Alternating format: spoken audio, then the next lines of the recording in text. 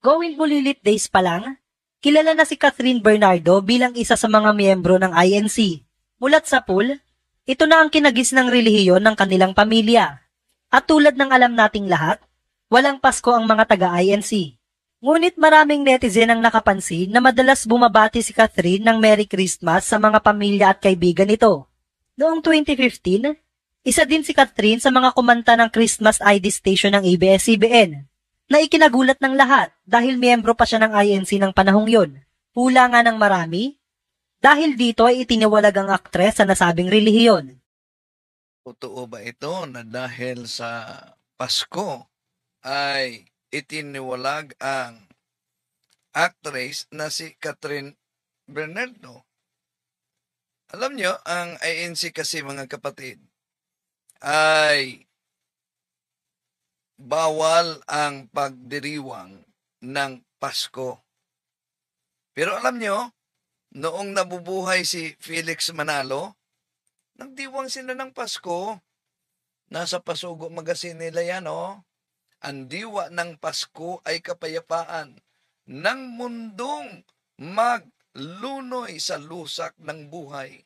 Mabuting balita sa kinalulugdan, pagsilang ni Jesus sa abang sabsaban.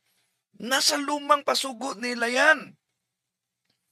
Pero, sabi nila na ang pagdiriwang daw ng Pasko ng mga Kristiyano ay sa pagano. At ginagamit nila yung aklat na Handbook of Christian Feasts and Customs at pinagchapchap. At sino daw ang nag-utos na ipagdiwang ang Pasko, Santo Papa lang ng Katoliko. Who designated as December 25 to be the date of the so-called Christmas, Brother Jonas. In another Catholic book, Brother Jumel, entitled The True Christianity, written by John Pasquini in page 410, this is what is written. 337 to 352. The 35th Pope, Julius I, founded the archives of the Holy See and decreed that Christmas should be celebrated on December 25. Notice, dear friends, the command to celebrate Christmas on December 25th did not come from the Bible. Yan ang argumento nila. Di nagsimula at galing sa Biblia ang pagdiriwang ng uh, Pasko. Pero ang tanong, di po ba ang mga INC nagdiwang ng ano? Ng New Year. Tuwing New Year, ha? Ito makita ninyo sa television nila. Yeah? May pagpaputok pa sila, oh. Oh, may pagdiriwang sila ng New Year. Bakit ipinakita ko ito sa inyo mga kapatid? Dahil argumento ng mga ministro ni Felix Manalo, o na, sabi nila, saan mabasa na ang mga apostolo, ang ating Panginoon Kristo, nagdiwang ng Pasko?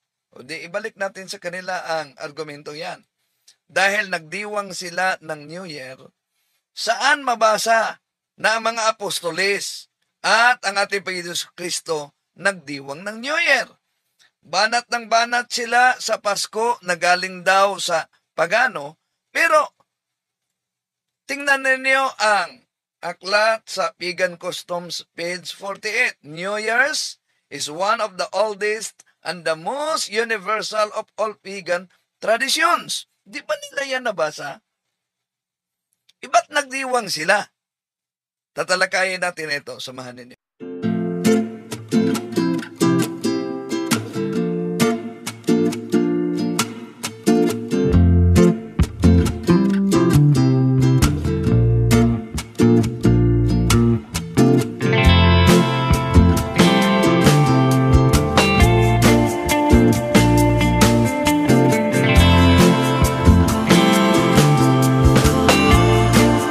Kumusta sa lahat nating mga kapatid na sumusubaybay sa ating live streaming? At uh, Indiya natin, huwag kalimutan na pindutin ang like sa ating live. At kung bago ka lang, huwag kalimutang mag-subscribe at pindutin ang bell button para updated kayo mag-comment at i-share ninyo mga kapatid. No? At meron tayong isang channel pa, ang pananampalataya at katweran.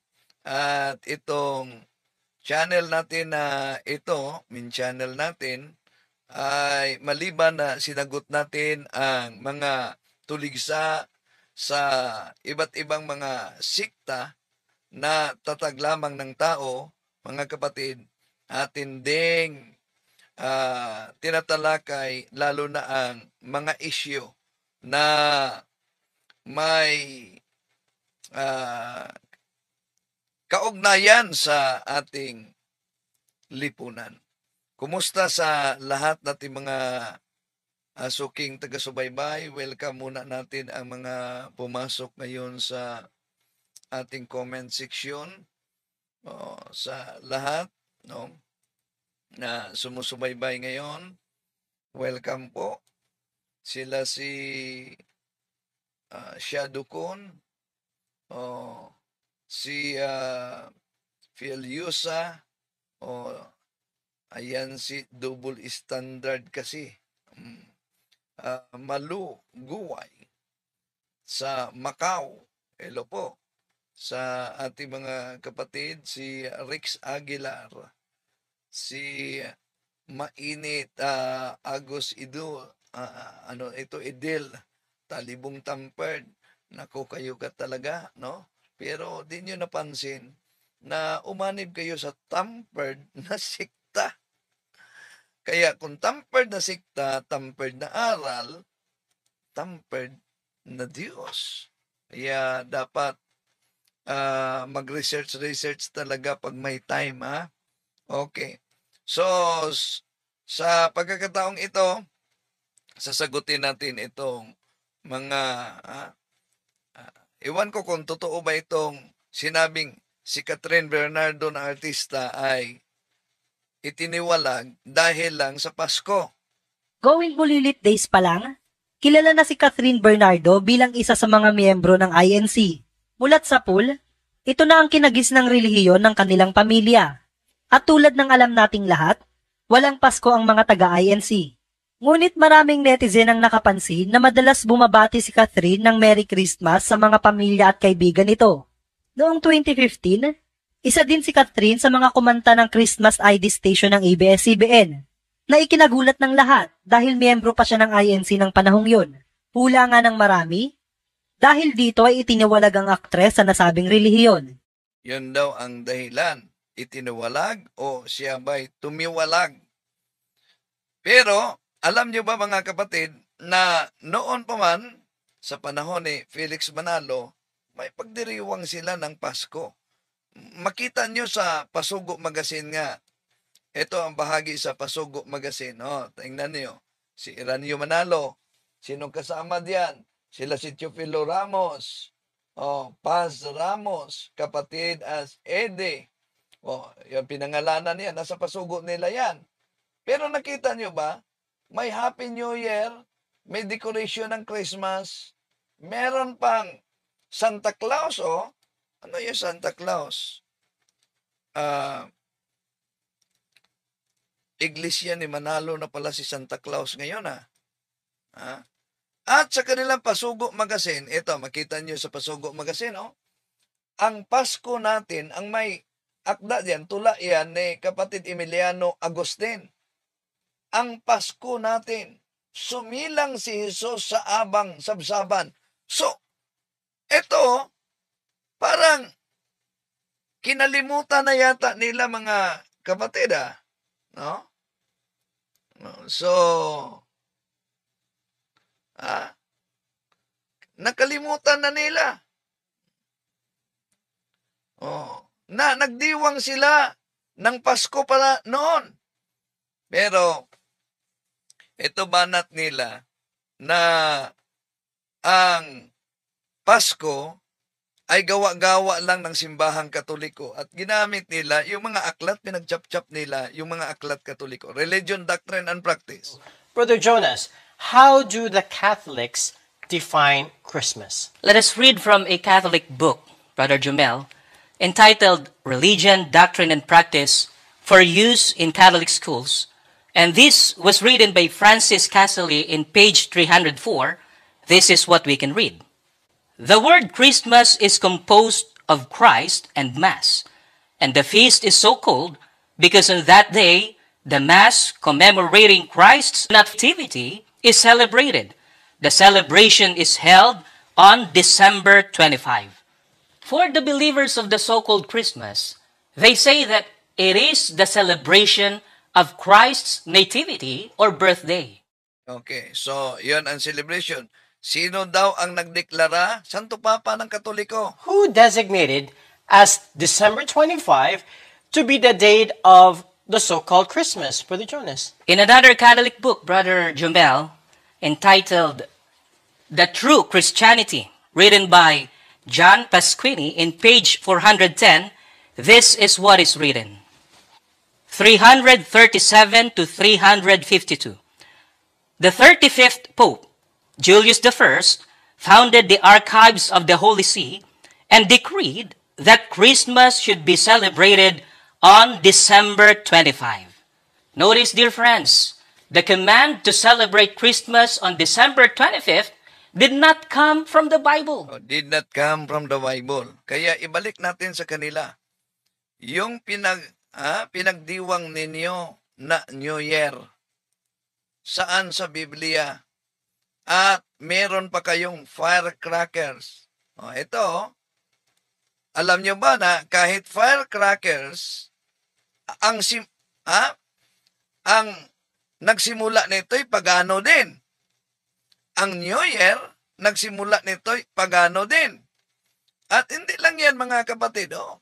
tuwing New Year yan ha, di ba nila nabasa na ang pagdiriwang origin sa New Year ay sa pagano? Di ba nila nabasa na yung paggamit ng firecrackers, kung i-research ninyo, pagano ang nagsimula? Hindi lang yan. Kung di nila paniniwalaan, mga mahal na kapatid, ang pagdiriwang ng simbahang katoliko kaugnay sa Pasko, kaugnay sa Christmas, eh ang tanong dito, bakit itong mga ministro ni Felix Manalo nagdiwang at tinanggap nila yung kalendaryo natin sa kasalukuyan ngayon. Idiniklara riyan ni Pope Gregorio XIII. Yun ang tinatawag na Gregorian calendar noong Oktobre 15, 18, ah, 1582.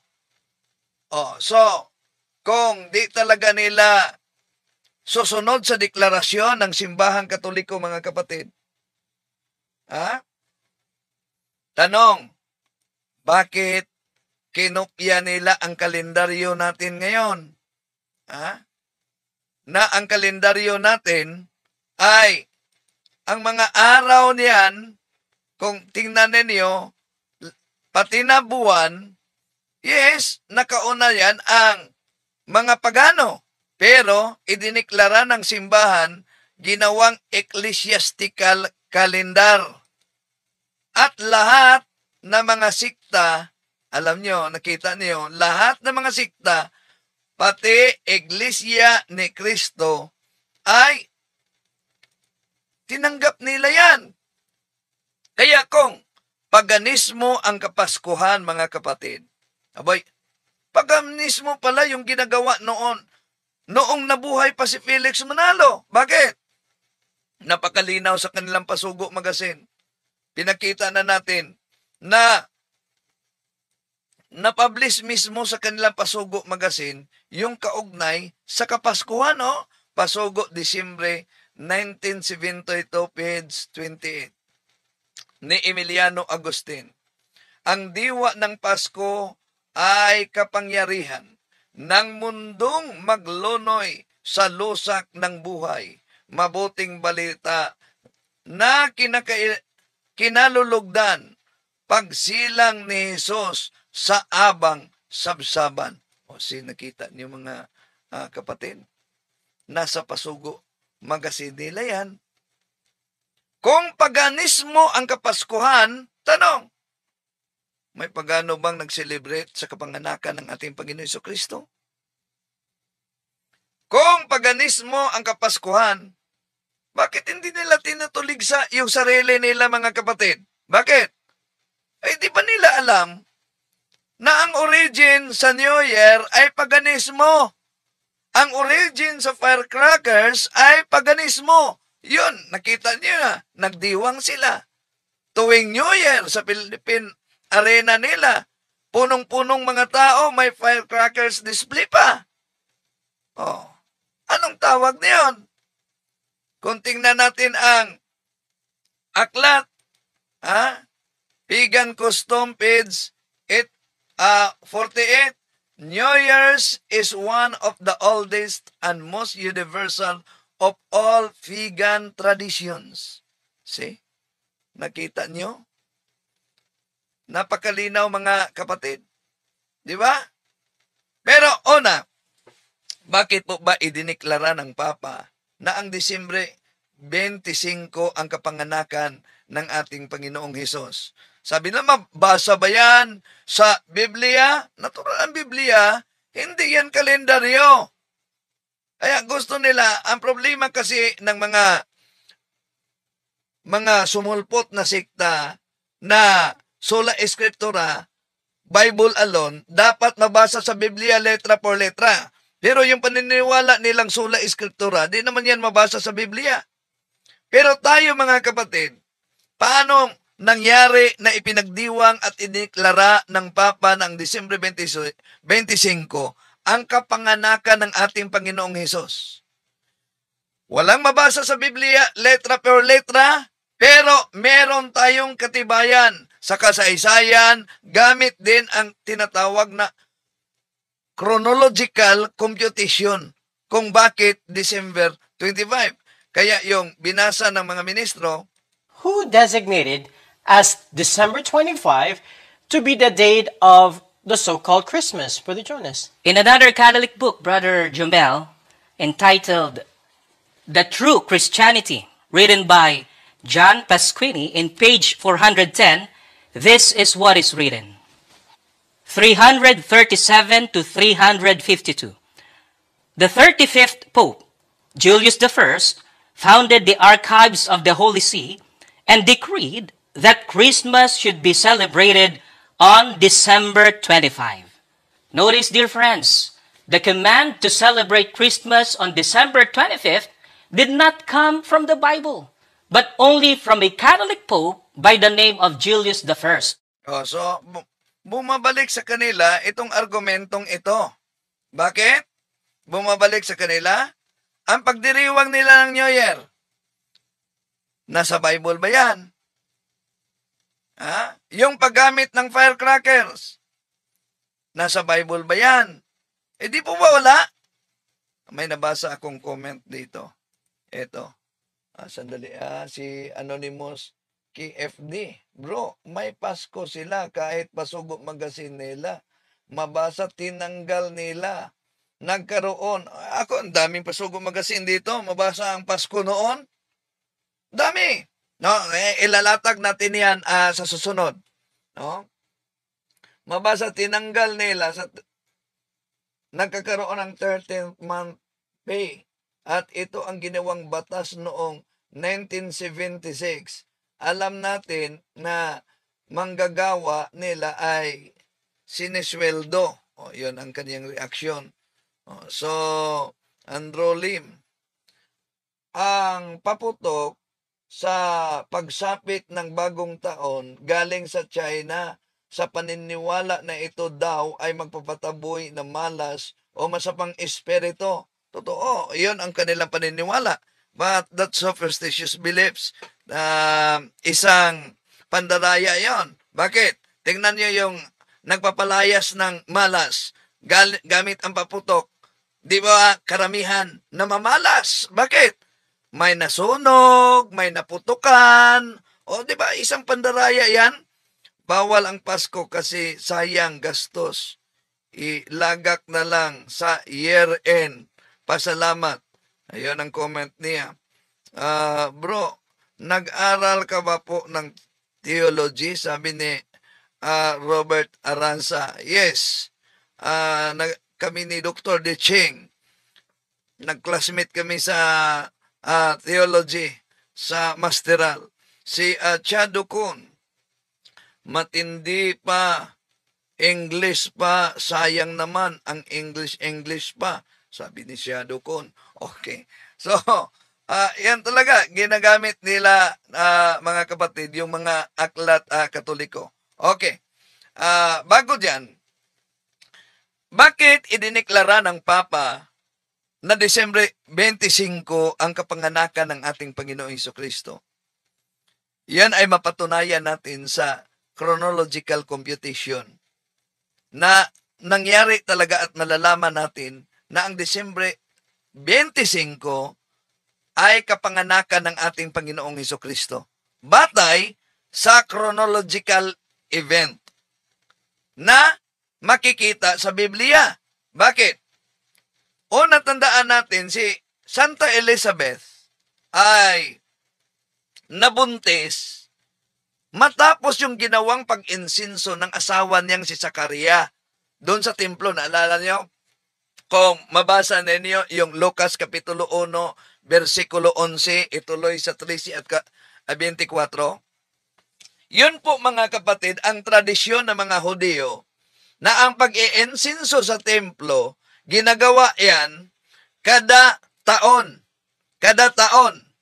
At may ah, yung yung ah, paggawa nila kada taon, ginagawa nila yan sa buwan ng mga Hodyo na tinatawag na Tisre 15.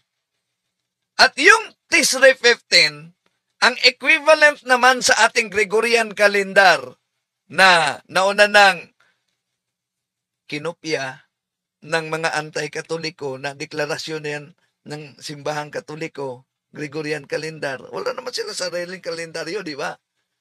Ang Tisre 15, ang equivalent niyan sa ating Gregorian calendar ay September. September 25. Kung tingnan natin ang ah, aklat mga kapatid, isang protestante na aklat na ang pamagat niyo Compact Dictionary, a Protestant version edited by Alton Brandt, page 128. Ito mabasa natin. Day of Atonement, an annual Hebrew feast, when the high priest offered sacrifices for sins of the nation. It was observed on the day of the seventh month, tenth day of the seventh month. Yon ang ah, selebrasyon nila, no? At yon ay ang buwan ng Tisre. Tisre 15 at ang equivalent niyan ay September 25. Na kung tingnan natin mga kapatid ang Lucas Kapitulo 1, versikulo 11, 13, ituloy natin sa 24, nagpakita sa kanya doon ang isang anghel ng Panginoon na nakatayo sa gawing kanan ng altar na sunugan ng insinso. Nasindak si Sakarias at natakot nang nakita niya ito. Ngunit sinabi ng anghel sa, sa kanya, Huwag kang matakot, Sakarias. Dininig ng Diyos ang iyong panalangin. Ang iyong asawa, si Elizabeth, ay magkakaanak ng isang lalaki at Juan ang ipapangalan mo sa bata. Tuloy 24. Hindi nagtagal at naglihi si Elizabeth. Hindi ito lumabas ng bahay sa loob ng limang buwan. Yon. Ang nangyari mga ah, kapatid. So, nabuntis si Santa Elizabeth. Matapos yung pagdiriwang ng insinso sa asawa niyang si Zacarias sa templo. Na nabasa natin sa Lucas Kapitulo 1, versikulo 11, tuloy sa 13 at ituloy sa 24. So ayon sa tradisyon ng mga Hudiyo, ang pag-insinso ng templo ginawa nila noon sa buwan ng mga Hodyo Jewish month, Jewish calendar na Tishrei 15 na ang equivalent niyan ay September 25. At kung babasahin natin sa Lucas Kapitulo 1, versikulo 26, sa ika-anim na buwan ah, ng, nag, sa pagbubuntis ni Elizabeth, doon din nabuntis ang mahal na Birhen Maria. Ah? Ika-anim kawan sa pagbuntis ni Elizabeth, nagbuntis din ang mahal na Birhen Maria. Ito mabasa natin sa Lucas Kapitulo 1, versikulo 26, 30-31. Nang ika-anim na buwan ng pagdadalang tao ni Elizabeth, ang anghel na si Gabriel ay sinugo ng Diyos sa Nazaret, sa isang bayan na Galilea. 30. Sinabi sa kanya ng anghel, huwag kang matakot Maria, sapagkat naging kalugod-lugod ka sa Diyos. Makinig ka. Ikaw ay maglilihi at manganganak ng isang sanggol na lalaki at siya'y papangalanan mong Jesus. So, nakita nyo ba ang chronology mga kapatid? Na ayon sa Lucas Kapitulo 1, versikulo 26, ika-anim na buwan mula sa pagbuntis ni Elizabeth, si Santa Maria ay nagbunti, nabuntis sa ating Panginoon Heso Kristo. Dala niya sa sinapupunan ng ating Panginoon Heso Kristo. So, yan po ay Marso 25. Dahil, muli po, kung nabuntis si Santa Elizabeth ng Tishrei 15 at equivalent ng Tishrei 15 sa Jewish calendar sa ating kalendaryo na Gregorian calendar ay September 25.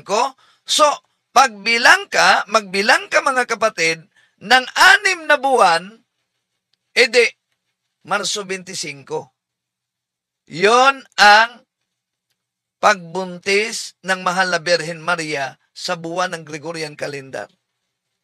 At magbilang ulit ng ika ika siyam na buwan mula sa Marso 25 mula sa kanyang pagbubuntis sa ating Panginoon Heso Kristo edi lalabas na ang Desembre 25 ang ika-anim, ah, ikasiyam na buwan mga kapatid. No? So, napakalinaw yan sa kasaysayan na una, si Santa Elizabeth, Tishrei 15, September 25, yon ang pagbuntis niya. Ika-anim kabuan mula sa pagbuntis ni Elizabeth, nabuntis din ang mahal na Birhen Maria, yon ay Marso 25. So Marso 25, magbilang ka ng siyam na buwan, walang iba. Ang kapanganakan ay nangyari sa Disyembre 25. Therefore, Disyembre 25 ang birthday ng ating Panginoong Heso Kristo. Kaya, sa Merit Students Encyclopedia, page 477, 350 Anno Domini, Julius I declared, Pope Julius I declared that December 25 was the true date of the Nativity. Napaka ah, linaw mga ah, kapatid. Yun ang sa kasaysayan. Pero, may ginagamit sila na aklat katoliko na pinagchap-chap nila ah, na nauna nating ah, kaya mag-ingat talaga dahil kung wala kayong background yan, abay, mapauo kayo sa mga ministrong ito na ginagamit ang ating mga aklat katoliko para pagputol-putulin. Sulat ng isang dagngangalang Francis X. Weiser. Ganito ang kanyang sinasabi sa page 61. Ang pagkakapili sa ikadalawamput lima ng Disyembre ay naimpluensyahan ng katotohanan ang mga Romano mula sa panahon ni Emperador Aureliano, 275, ay nagdiwang ng kapistahan ng Diyos na araw, Sol Invictus, ang hindi mapananaigang araw, sa araw na iyon. Ang ikadalawamput lima ng Disyembre ay tinawag na Araw ng Kapanganakan ng Araw at idinaos ang dakilang mga paganong pagdiriwang na panrelihiyon sa buong imperyo ng pananampalatayang Mitray. Okay. May nabasa ako, sandali muna ah. Ah, may nabasa pala ako dito sa comment section na ito sandali pakita ko sa inyo hmm? itong comment niya dito about sa regalo daw oh sandali ah Ah, okay, pakita muna natin. Ito. Mga kapatid. Oh. So, si ah sa asan ba 'yon? Ah, si Willie to Ombyun Lampis. Nakalagay sa Bible, yan ang sabi dahil sa kaniya, ang mga tao sa buong mundo ay nagbibigay ng regalo. Nakalimutan ko ang verse na mababasa. Ah, okay. Okay. Ah, salamat, no? So, sa ah, comment ni mo, ah, kapatid, yes, nasa Bible yan na ang pagbibigay ng ah, regalo. At yun ay na ah, tingnan natin ha sa Biblia. Nasa Esther kapitulo 9 versikulo 22 yan no? Mabasa natin yan ah, kapatid. Esther kapitulo 9 versikulo 22 ay pakita muna natin bago sasagutin natin yung ministro na gumagamit sa uh, pagchap-chap. Ito. Ito mabasa natin. Esther 9.22 As the time when the Jews got relief from their enemies, and as the month when their sorrow was turned into joy, and their mourning into the day of celebration, he wrote them to observe the days as days of fasting and joy, and giving presents of food to one another and gifts to the poor. So, yon ang uh, mabasa natin. No? Okay, balik natin yung sinabi ng ministro na ginamit nila itong aklat katoliko Christian Feast. Lumang aklat na ito. Christian Feast, Handbook of Christian Feast and Customs. No. Imagine, pati itong mga aklat na itong mga luma, ginagamit nila para pang chap chap chap chapin, no, pinuputol-putol, at dahil may mabasa daw umano na inaamin ng otoridad katoliko na ang pagdiriwang ng Pasko ay ito'y galing mismo sa mga pagano. Yon.